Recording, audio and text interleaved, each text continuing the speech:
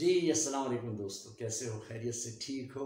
मैंने कहा, चलो आज आपसे बात करें, बहुत ही अहम बात थी कि जो है, हम आजकल देख रहे हैं सोशल मीडिया के ऊपर कि बार बार एक ही पोस्ट आ रही है कि जी, आप कर्जा ले लें, जी, आप एक लाख का ले लें, पचास हज़ार का ले लें, बीस हज़ार का ले लें। भाई, किन चक्रों में लगा रहे हो हमें यार? हमें धंधा करने का नहीं बता रहे हो, ये कर्ज़ों का बता रहे हो। ये जी, बहुत ही ईजी है, हमने तो एक कॉल की और ऐसा बताया, वैसा बताया, पैसे मिल गए। पैसा देना भी तो है ना भाई। नहीं देना पैसा। पैसा वापस भी तो करना है ना। नहीं करना। पैसा वापस भी करना है और फिर आप अपनी लग्जरीज को कम करें, या फिर कमाई को बढ़ाएँ, ठीक है? दो में से एक चीज़ है। कर्जा क्यों ले लें? सादगी ज़िंदगी में आ जाए, बहुत ही अच्छा हो जाए, ठीक है?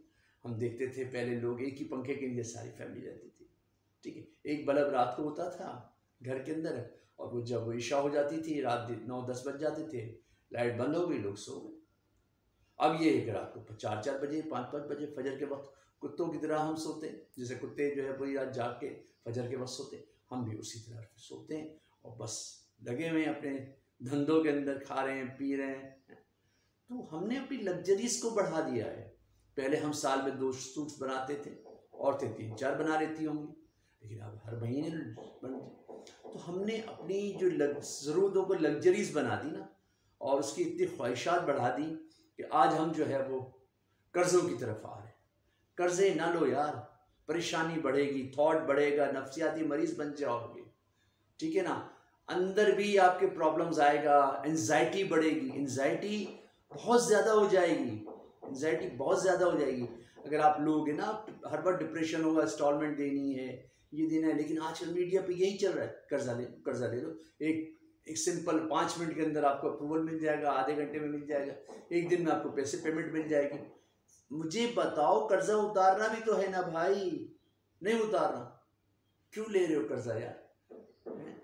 इसका ये ये है सिलसिला कि आप कर्जा इस तरह ना लो। आपको जो है, आप अपनी लाइफ स्टाइल चेंज करो। आमदनी बढ़ाओ। आमदनी बढ़ाओगे तो काम बनेगा। ये सारी चीज़ें थी। अब आप समझ जाओ कि अब आपने, जो है एनजाइटी करवानी है, अपना डिप्रेशन बढ़ाना है, या अपनी ज़िंदगी को बेहतर तरीके से लेके जाना है। बस मेरा तो यही मौसम है इस वक्त, जो है, आप लोगों के साथ डिस्कस करना कि यार ये जो चल रहा है सिलसिला बहुत ही तूफ़ान बदतमीज़ी है और बाद में आने वाले जो लोग ले लेंगे, वो फंस जाएँगे। जैसे पहले दौर आया था मिलिट्री दौर था उसमें मोटरसाइकिलें किस्तों पे मिल रही थी, गाड़ियाँ भी किस्तों पे मिल रही थी लोन्स भी पास कर रही थी बैंकें और लोगों ने फिर बाद में खुदकुशियाँ भी की हैं। और उनके जो जिन्होंने दिए हैं, उनके बदमाश आते थे, पुलिस वाले आते थे आते थे ताकि जो है वो उठा के बंदों को ले जाते थे, धमकियाँ देते थे। तो अब भी कुछ एजेंसीज ऐसी हैं जो इस पर काम कर रही हैं। लेकिन बाद में हम क्या करेंगे? अब लोग क्या कहते हैं जी, वो डेटा कवरिंग कर रही है डेटा ले रही है। डेटा ले रही है, लेकिन पैसे भी तो दे रही है आपको यार। फिर वो वसूल नहीं करेगी आपसे। ठीक है? और डेटा आपने क्यों देना है कि सारे को ना आपका डेटा आपकी सारी इंक्वायरीज आपकी सारी चीज़ें, आप किसी को क्यों देंगे यार? ठीक है? आप अपने पास रखें ना ये सारी चीज़ें। किसी को लीक करने की ज़रूरत नहीं है, हम किसी के, वो तो नहीं है, गुलाम तो नहीं है ना कि डेटा हम देते फिरें और एक जगह एक सर, पहले जो लोग थे जो है, पहले ज़मीनों पे इन्वेस्ट करते थे फिर गाड़ियों पे और कपड़ों पे और इन्वेस्टमेंट्स और कारोबार के अंदर। अब लोग डेटा के ऊपर जो है इन्वेस्ट कर रहे हैं, जिसके पास जितना बड़ा डेटा होगा, इतना ज़्यादा वो अमीर हो जाएगा। तो इस पर ही मुहिम चल रही है, लेकिन हमें क्यों डेटा देना है?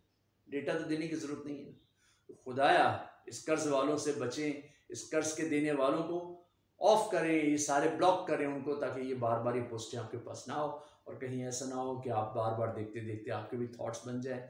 और आप भी कहीं से कर्जा ले लो, फिर बाद में जो है उसको अदा करने के लिए फिर प्रॉब्लम्स हो। जाए ज़िंदगी सादा करो, सादा खाओ, ठीक है? सादा पहनो, ठीक है? और सारी चीज़ें सादगी के साथ करो और साथ में कमाई बढ़ाने के तरीके भी ढूंढो। खुदा से मांगो।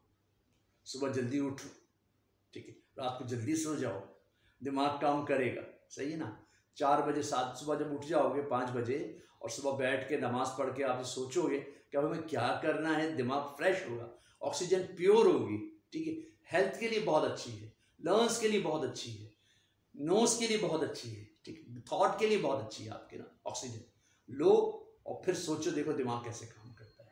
कैसे आपकी ज़िंदगी के अंदर जो है मौाक़े बढ़ते हैं, कारोबार के, पैसा कमाने के, और फिर आपकी ज़िंदगी सहल हो जाएगी सारी पूरी फैमिली आपकी सहल हो जाए सेट हो जाएगी। आपकी ज़िंदगी सहल हो जाएगी, ज़िंदगी सेट हो जाएगी। ठीक है? और आपकी फैमिली सेट हो जाएगी। ठीक है? तो इसमें बहुत इजी हो जाएगा आपके साथ ये कि आप जो है ना वो कारोबार को और अपने काम को और अपनी जॉब्स को अच्छे कर अपनी वैल्यू को बढ़ाएँ। ठीक है? अपनी वैल्यू जब बढ़ाएँगे ना तो खुद ब खुद पैसा आपके पास आएगा। वैल्यू आपकी नहीं होगी वैल्यू कम होगी, पैसा कम आएगा। वैल्यू बढ़ेगी, पैसा आएगा। आप अपने आप को फिक्स मत कर लो एक जगह कि यार मैं तो पचास हज़ार रुपये ही कमाऊँगा। नहीं, मैं पचास लाख रुपए भी कमा सकता हूँ। फिर कर्ज़ों की ज़रूरत नहीं पड़ेगी। फिर इन थॉट्स की ज़रूरत नहीं पड़ेगी, बल्कि आप दूसरों को देने वाले होंगे। ठीक है? तो ये कर लें यार, सदका दिया करें।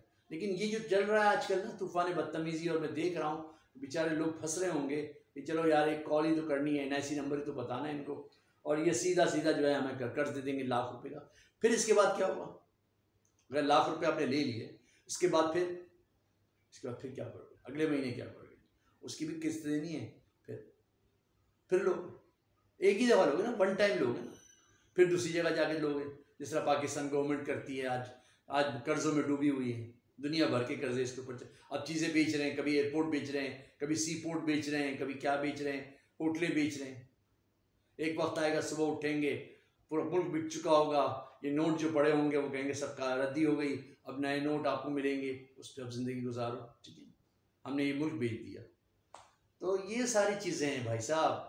बड़ा अजीब सा सिनेरियो बना हुआ है इस मुल्क का, इसका जो है लोगों के थॉट्स और इतनी क्रिमिनल एक्टिविटीज़ हो रही हैं कि जो है ना, हम फंस जाते हैं इसके अंदर। तो आप बिल्कुल फ़िक्र ना करें, टेंशन ना दें, हम आगाह करते रहेंगे। ऐसी कोई चीज़ में ना फंसें। अभी भी मौाक़े बहुत हैं, इस बड़े मुल्क में रहते हैं, जिसमें आबादी 22 करोड़ की है 23 करोड़ की है 24 करोड़ की है, पता नहीं 25 करोड़ की है मरदमशुमारी सही होती नहीं, हमें क्या पता चलेगा। लेकिन अंदाज़ा है कि 24 करोड़ 25 करोड़ की है। इसमें मौाक़े ज़्यादा हैं कमाई के ना, ठीक है, वरना दुनिया के बहुत सारे ऐसे बर आज़म हैं इनकी आबादी हमारे शहरों से कम है, मौाक़े कम है, यहाँ मौाक़े ज़्यादा हैं। तो आप कमाई कर सकते हो, यहाँ बैठ के कर सकते हो। कहीं जाने की ज़रूरत नहीं है। ठीक है ना? जो अपने मुल्क में नहीं कमा सकता, वो दुनिया में कहीं भी नहीं कमा सकता। है ना? ये भी जो गए थे, बेचारे यूरोप जा रहे थे, कश्ती उलट गई उनकी, है? क्यों गए थे? अच्छा लोग क्या कहते हैं? लोग कहते हैं कि यार, इसकी प्रचार इतनी नहीं हुई जितनी टाइटन की हुई। अरे भाई, अनलीगल लोग जा रहे थे। यार क्राइम क्रिमिनल थे लोग। क्राइम करके जा रहे थे, रिश्वत दे के लोगों को लेकर जा रहे थे। बॉर्डर ये बगैर बगैर अथॉरिटी के पास कर रहे थे। इनकी चर्चा हम क्यों करें इतनी? उसकी होगी ना चर्चा जो लीगल गए थे नीचे। भले घूमने गए थे। तो भैया, बाहर जाने की ज़रूरत नहीं है। किसी भी यूरोप के अंदर, इंग्लैंड के अंदर हाँ अपनी चीज़ें बनाओ, वहाँ भेजो एक्सपोर्ट बढ़ाओ। लॉ हैं पाकिस्तान के बड़े अच्छे। आप कर सकते हो, आप पाकिस्तानी हो। ठीक है ना? मुझे वहाँ जाके आप जो है, इस तरह अनलीगल ना जाए। लीगल तरीके से जाओ वीज़ा लो तरीके से उनका वहाँ पे जो भी उनका सिस्टम है सिस्टम के मुताबिक उनके एम्बेसी के अंदर जाके सवाल जवाब के क्यों जा रहे हो, कितनी इन्वेस्टमेंट है आपके पास, कितना पैसा है, सारी चीज़ें शो करो। दिए ना लोगों ने लोगों ने पच्चीस पच्चीस, तीस तीस, चालीस चालीस लाख रुपए दिए उनको। दुकानें बेची, गाड़ियाँ बेची और उनको पैसे दिए। फिर वो गए अनलीगल तरीके से, बेचारे, गरीब लोग फंस गए। तो मैं तो बिल्कुल, मेरा दिल जलता है ये देख के कि यार फिर कोई गरीब लोग फंस जाएँगे सारे।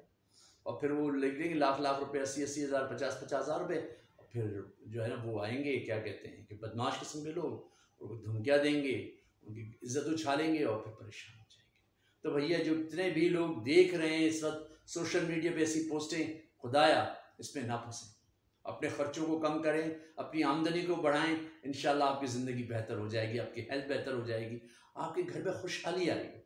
बस आज की बात थोड़ी सी यही थी। अगर तो अच्छी लग रही हो आपकी बात तो आप थोड़ा सा इसको आगे बढ़ा दिया करें ताकि आपको जह नशीन हो जाए और आपको भी फ़ायदा हो जाए। तो आने वाली वीडियो का इंतज़ार करें इन अगली और अच्छे टॉपिक्स लेकर आ रहा हूँ। बस आप लोगों का तावन चाहिए और आप लोगों की इज़्ज़त अफजाई चाहिए कि आप इज़्ज़त दें हमें तो हम अपने आपके लिए बहुत कुछ करेंगे। क्योंकि हमें तो सिर्फ़ बात करना आती है, हम तो बस आपके साथ बात ही कर सकते हैं। करना ना करना ये आपका काम है। ठीक है?